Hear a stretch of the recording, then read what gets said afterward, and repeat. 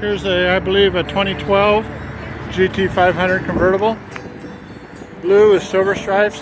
Very pretty. 40th anniversary car. Got some wheels that I don't recognize, so I'm going to say they're aftermarket. It says 67 to 2007, so it's a 2007. Hope you give me a thumbs up. Hope you subscribe. Hope you watch the video all the way to the end. Thank you so much. Huh. Oh, the wheels say Shelby on them. But I'm not familiar, but maybe it's a 40th anniversary special car and it has its own wheels. But it's very, very nice.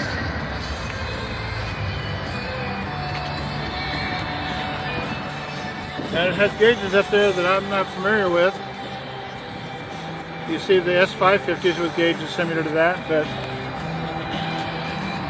huh.